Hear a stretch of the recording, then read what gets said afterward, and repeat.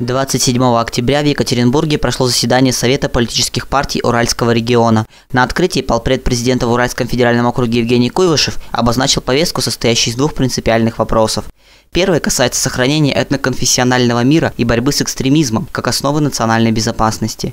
А второй – цивилизованной межпартийной конкуренции и недопустимости использования серых и черных политтехнологий в предвыборных кампаниях.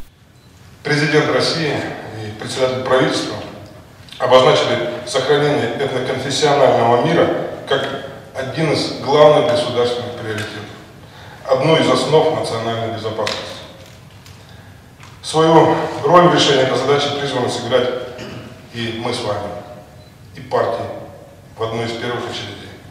Это относится в том числе к работе с национальными диаспорами, вовлечение их конструктивную политическую активность, формирование российской Э, гражданской идентичности.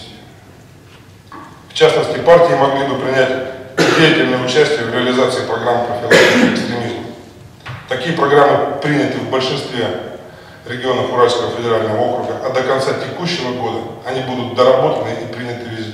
Руководитель Уральского межрегионального координационного совета «Единой России» Иван Квитко разделил опасения полпреда и в свою очередь отметил необходимость контроля над избирательными списками, чтобы люди, поддерживающие экстремистские взгляды, не оказывались среди руководства партий, участвующих в выборе в Государственную Думу.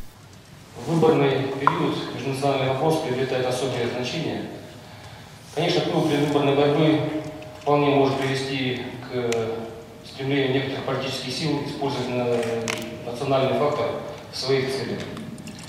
Укрепление мира и согласия между представителями всех национальностей, религий и конфессий – основа существования и развития России как единого государства.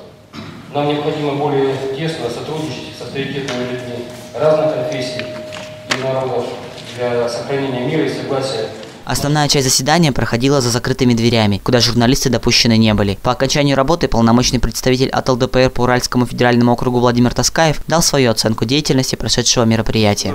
Я на первом мероприятии, которое ведет новый полпред, э, в общем-то, я считаю, что достаточно адекватно воспринял ту информацию, которую дают оппозиционные партии. В общем-то, даны серьезные нам э, понимания существующей сегодня обстановки. Мы твердо понимаем, что сегодня мы идем на выборы в Государственную Думу, э, плавно перетекающие выборы президента Российской Федерации. Мы сегодня обсуждали э, конституционные проблемы, межнациональные проблемы. И, в общем-то, я услышал, что власть нас понимает. И я думаю, что вот с продуктивным полпредом мы должны кое-что изменить. Потому что мы в первую очередь должны признать, что нашей стране надо что-то менять. И в первую очередь должна признать власть. И власть должна именно быть не глухая, она должна быть слышать то, что мы говорим. Мы действительно не хотим, чтобы был у нас какой-то разброд, чтобы партии между собой ссорились. Э, мы хотим, чтобы была сильная страна и э, не было административного потенциала, не было значит, э, ну, какой-то рознь неприятной в нашем обществе. Поэтому сегодня наш полпред это обеспечил, значит, он дал четкие понимания, четкие значит, э, взаимоотношения между нами и, в общем-то, прогарантировал, как представитель президента, э, исполнение федеральных законов и, значит, ну, будем говорить, то, что должно произойти. Я надеюсь, что э, это будет нормально в нашем регионе, в Уральском федеральном округе. Алексей Остапов, Алексей Юдин, Федерал Пресс.